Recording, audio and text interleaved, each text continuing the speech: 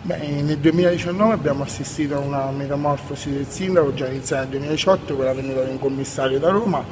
che si è conclusa poi nel 2019 con la vittoria della regione Umbria, dove è stato nominato assessore una persona proveniente da Lombardia, quale non ho nulla in contrario contro questa persona che poi neanche conosco. Però io credo che avevamo delle figure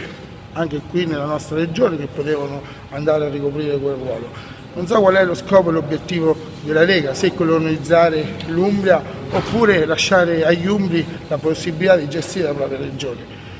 Indubbiamente quello che va fatto, a prescindere dagli errori che uno può fare, come io personalmente ho fatto, ma che ho creduto in determinate situazioni e in un cambiamento, oh, vanno portate avanti le battaglie per cui uno crede e soprattutto di dare, cercare di dare alla regione Umbria, agli Umbri, la, la speranza del cambiamento,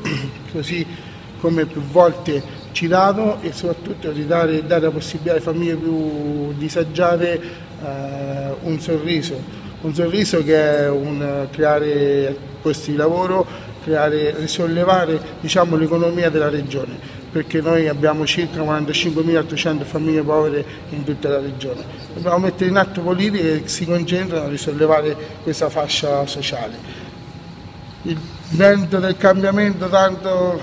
tanto diffuso e sventolato ai quattro venti a me sinceramente non mi sembra che sia, sia avvenuto o che, sia, o che stia mh, mm, tirando, ma speriamo il nostro impegno eh, è proprio cercare di portare quel, almeno il mio è proprio di portare quel vento di cambiamento dove dobbiamo soprattutto iniziare a